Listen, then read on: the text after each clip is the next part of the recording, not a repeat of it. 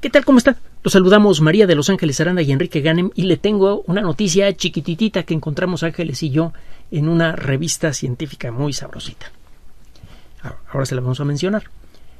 El término nano se utiliza normalmente el prefijo para representar la milmillonésima parte de algo. Por ejemplo, un nanómetro es la milmillonésima parte de un metro. La nanotecnología es una disciplina que pretende fabricar grandes cantidades de cosas muy pequeñas con características uniformes no importa qué tan simples o complejas puedan ser estas cosas. Piense usted en una computadora personal. Es una máquina extraordinariamente complicada. Solamente el cerebro electrónico de una computadora puede tener más de 100 millones de transistores y tiene un montón de otros circuitos que también tienen montones de transistores. Y a pesar de su enorme complejidad se pueden fabricar miles y miles de computadoras y todas son iguales, todas son confiables y todas son más o menos baratas sobre todo si considera lo complicaditas que son por adentro. La nanotecnología pretende fabricar estructuras hechas de unos cuantos átomos en cantidades enormes y todas estas estructuras van a tener características predecibles. Bueno, ¿y esto para qué sirve? Ahí le va. Vamos a hablar de un material en particular, el grafeno. Cuando fue descubierto, presentado este material, a las personas que lo desarrollaron les dieron el premio Nobel casi inmediatamente porque este material promete mucho. Ya tiene pues, más de una década el grafeno de, ser trabajado por investigadores de todas partes del mundo y hasta ahora no ha servido para nada. Da la impresión de que ese premio Nobel fue mm, desperdiciado. Mire, el grafeno a simple vista parece como una hoja de, celofán transparente. Si usted lo ve con un microscopio mágico, se dará cuenta que está hecho de, patrones regulares hexagonales y si ve de cerca de qué están hechos esos patrones hexagonales, verá que están hechos de puros átomos de carbono. El grafeno es un material que está hecho con átomos de carbono exclusivamente. Estos átomos se engarzan en patrones hexagonales que se pegan unos a otros como las losetas de un piso que, tiene, que tienen perímetro hexagonal. Estas losetas se engarzan de cierta manera para formar un piso regular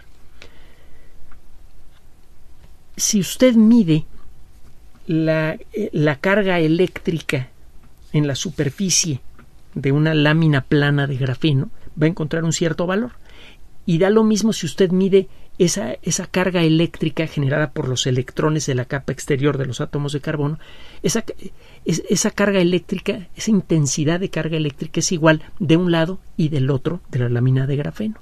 Si usted enrolla el grafeno para hacer un tubito, pasa algo la carga eléctrica se empieza a distribuir de manera desigual. La parte exterior y la parte interior del tubito tienen una distinta densidad de carga eléctrica. Si usted hace que este tubo se haga muy chiquito, la diferencia entre la intensidad de la carga eléctrica en el interior y en el exterior del tubo aumenta más. Si ese tubo lo hace usted con un rollo de grafeno eh, eh, a simple vista, por chiquito que haga el tubo, la diferencia en la intensidad de la carga eléctrica en el interior y en el exterior del tubo va a ser pequeña. Pero si en lugar de hacer un tubito pequeño a mano, hace usted un nanotubo, un tubo que mide unas pocas mil millonésimas de metro, va a encontrar que la diferencia entre la intensidad de la carga eléctrica en el interior y en el exterior del tubo es muy notable.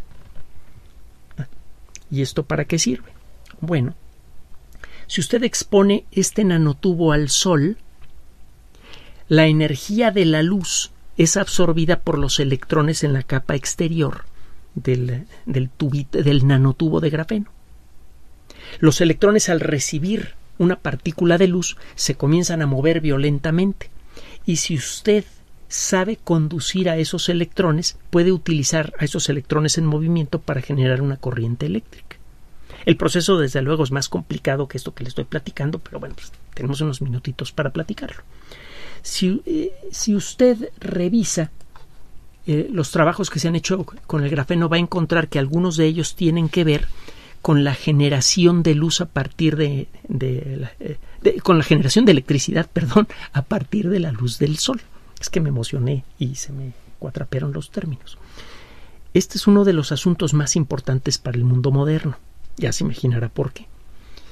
la luz del sol cae en grandes cantidades por todos lados y, en cada metro cuadrado están cayendo como mil watts en todo momento a lo largo del día. Si vive usted en zona tropical, se cae mucha energía por metro cuadrado todos los días si lo pudiéramos aprovechar. Bueno, los nanotubos de, de grafeno o de otros materiales podrían servir para capturar esa energía solar y convertirla en electricidad. En la actualidad se utilizan otras técnicas para esto y las fotoceldas que hay en la actualidad, que ya son más o menos buenas, son todavía muy caras y solamente convierten entre el 10 y el 15% de la energía del sol en electricidad, la mayoría de los modelos comerciales. Parece que si usted toma dos nanotubos y los mete uno adentro de otro, esto se podría hacer con técnicas nanotecnológicas, podría usted construir con este material fotoceldas que serían mucho más eficientes que las actuales, convertirían una fracción mucho mayor de la energía del sol en electricidad.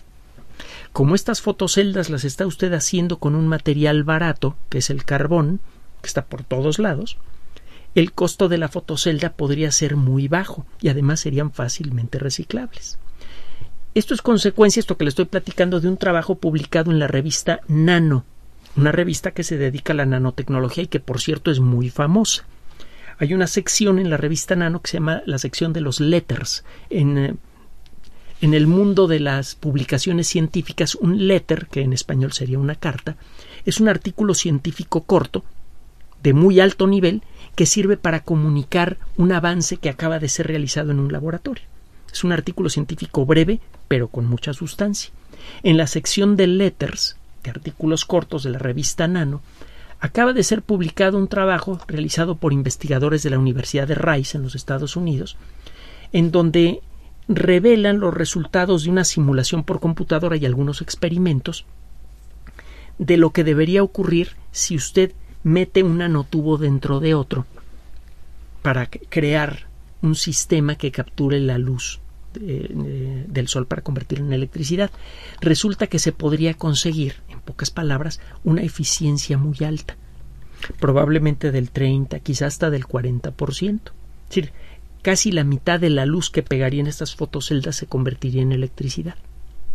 Significa que en un metro cuadrado usted podría generar aproximadamente 500 watts, 400 watts, una cosa así significa que con la luz que está cayendo en el techo de la casa o edificio en el que vive usted, eh, se generaría suficiente energía para mantener funcionando a los refrigeradores, luces y otros dispositivos electrónicos de la mayoría de las casas, y además sobraría electricidad para cargar la batería de un automóvil.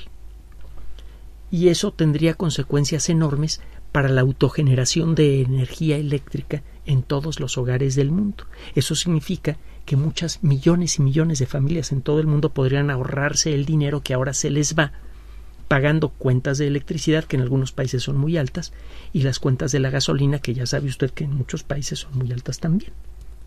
Esta es la noticia.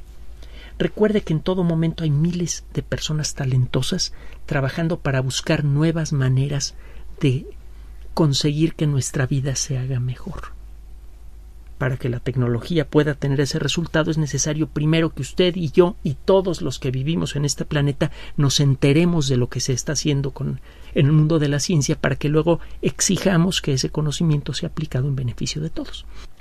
Gracias por su atención. Recuerde que además de este canal oficial en YouTube, tenemos nuestro sitio web www.lexplicador.net, las redes sociales de siempre, Twitter Enrique-Ganem, Facebook Enrique Ganem, sitio oficial, Recuerde que también por sugerencia suya tenemos abierto un espacio en Patreon, en el explicador Enrique Ganem, gracias al cual sostenemos este espacio. Y finalmente recuerde que el explicador siempre somos María de Los Ángeles Aranda y Enrique Ganem. Gracias.